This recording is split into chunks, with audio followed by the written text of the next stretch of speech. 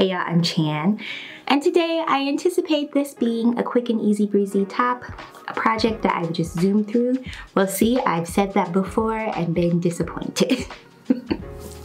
I'm going to be making the Deer and Doe Orchidee top or the Orchid top. They make all, they name all their patterns after flowers. And it also comes in a dress version, but I'm just gonna make the top today. It is a kind of cottage core I've seen this on Reformation a lot, but they have billowy sleeves, a little bit of a deep V with some buttons going down the front, and then a little ruff at the bottom. And so I'm hoping if I really like this top, I can make it in a couple colors and just wear it, but we'll see.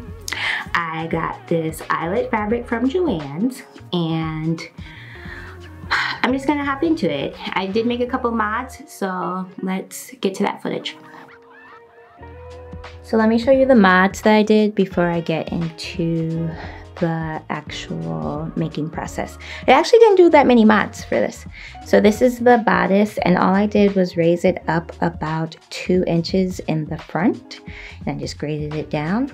And then for the bottom ruffle, I haven't decided how long that's gonna be, but I know I'm not gonna fold it over in half because I think that's too short. so I'm just going to um, try it on and then decide from there and then I'll just give it a narrow hem. And then for the sleeve, this, this we did go rogue with. this is my sleeve which is from, I'll put the name of the pattern on the screen, but it's my favorite puffy sleeve shape because it's not actually very puffy. It's not puffy at all at the shoulder. You ease it in just a little bit and then it's more, more of the puffness is at the wrist, which is what I prefer because I don't really like big puffy shoulders. So that's what I did, and that's kind of the only changes I made. I just put the darts in, and I actually don't need to make a broad back adjustment for this. I did make a toile off camera, and it was pretty perfect, so I saw no reason to show all that. So this is in, looks good, and then I have already interfaced everything. That's actually the very first thing you're supposed to do. So I used interfacing all along the neckline of both front pieces and then I also interfaced the waistband. The first thing I'm going to do is add gathering stitches all along the shoulders as well as the uh, bottom of the bodice of both front pieces and then also on the bottom of the back bodice. This is not in order of the directions, but I like to do all my gathering while, I, while my machine is set up for it. So I'm gonna gather it and then we'll put it all together.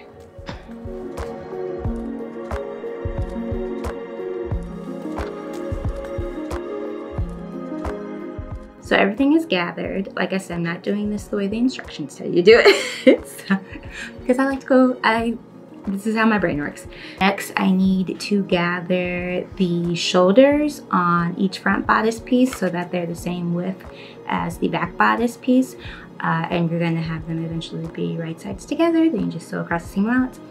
And then I also need to gather along the bottom of all the bodices so that they're the same width as the uh, waistbands and then I'm just gonna pin everything together and sew it at once. This is really just so I don't have to keep changing my machine around multiple times for different stitch lengths. And it just works for me. Uh, I've already done the lining because you need to do the same thing with the lining. This sews up very quickly, by the way. I did this in less than an hour. Um, but this is what it's gonna look like when everything is together. So I'm going to start doing all my gathering and then sew everything in place.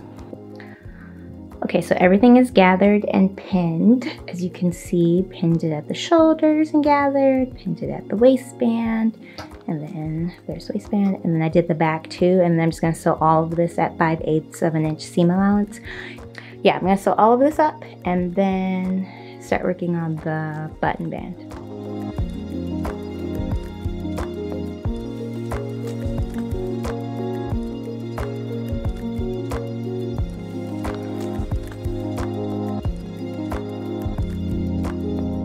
Where did we leave off? I sewed the, I sewed all of the gathered bodice pieces together and then I also put the waistbands on the front and the back and I serged everything. I showed you me doing that. And then I did the button loops. This is a little wonky, I'm not gonna lie, but it's good enough for me. and when I actually followed the guide, I had enough string, so I wasn't worried about that. So now I'm going to baste this to the right side uh, when you're wearing it, so the left if you're looking at it, of the front bodice piece. And then what do I do next? Then I have to sew up the side seams and then put the main fabric and the lining together. Cool. And then it wants me to sew the buttons on. I am not sewing the buttons on next.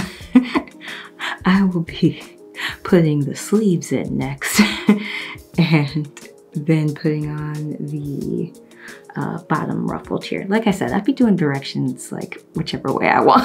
that makes more sense to me.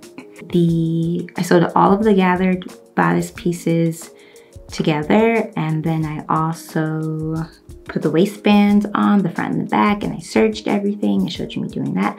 And then I did the button loops. This is a little wonky, I'm not gonna lie, but it's good enough for me. And when I actually followed the guide, I had enough string, so I wasn't worried about that. So now I'm going to baste this to the right side uh, when you're wearing it, so the left if you're looking at it, of the front bodice piece. And then what do I do next? Then I have to sew up the side seams and then put the main fabric and the lining together. Cool. And then it wants me to sew the buttons on. I am not sewing the buttons on next. I will be putting the sleeves in next and then putting on the uh, bottom ruffled here. Like I said, I'd be doing directions like whichever way I want. that makes more sense to me. So last night we ended on, I needed to sew the side seams and I had just sewed the uh, button thing, but mm, I don't actually know the name of that, but the, the, the button loop thing, I had just sewed that down to the front bodice. So I did all that and then now I am pinning the lining to the main fabric so I can, on the neckline, so I can sew it all down. I just did the side seams I've been um, making a conscious choice not to show so much of the like actual sewing and more like the, the setup and steps in between. Tell me if you like that because I feel like the sewing shots get kind of repetitive. Just my thoughts. So once I'm done pinning this, I'm going to sew all along the neckline as well as stay stitch it. And then I think I move on to the waistband. Or not the waistband, the ruffle, but I'm not totally sure.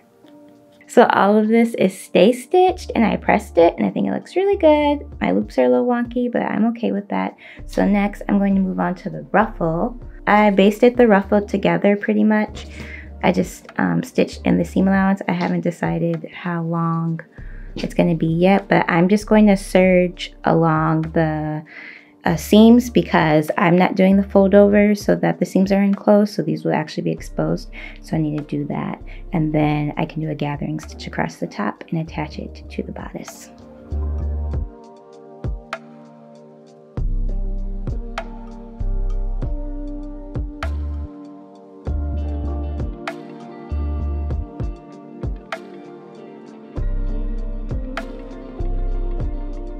Okay, I'm gonna ignore the waistband for a little bit. We'll come back to that.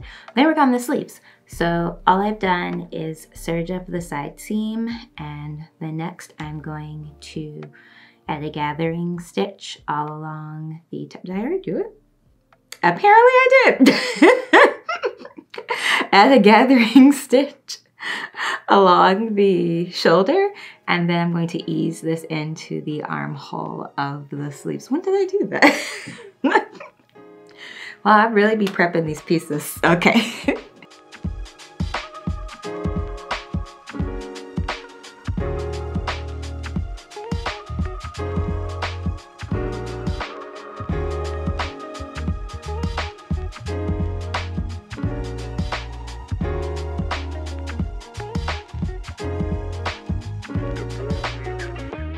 I believe the last time we spoke, I was putting the lining into this top. I had put the ruler loops in, the linings in, and I needed to stitch the lining down to the um, main fabric and I basted it down and then I tried it on and I don't like it. I don't like it at all. I think I've said I've I've moved on from this for a couple weeks now. so I'm coming back in to inform you where I've been. I don't like the excess ease towards the shoulder and the top. And I think I should have done rouleau loops versus the like um, loop with the trim. So loop with loop loops with the cord. So my plan is when I have the mental capacity to fix this is to do a slash and decrease on the upper portion of the blouse and then cut rouleau loops instead. Which is a bit of a bummer because I was really looking forward to this. I just think it's giving like not good coastal grandma, like like bad coastal grandma. like giving elderly, it's not it's not hitting the way it needs to. So I'm going so this is a fail, and that's okay. Sometimes things are fails. But I still want to share it with you. And you all said you wanted to see it. So that's this did not end how I planned on it ending, but that happens sometimes. So if you like this video, give it a like. I am going to do a fix my fails video because I have a couple fails I need to fix. Um, so you'll see this again. Plus I want to wear this this summer. Um, because I have dreams of it with jeans, like jean shorts and like a little sandal going off to brunch or like on a date or something and like I'm trying to make that happen. So I will see you all next time. Please stay tuned. We have a lot of exciting things coming up and I I'll see you in the next one I guess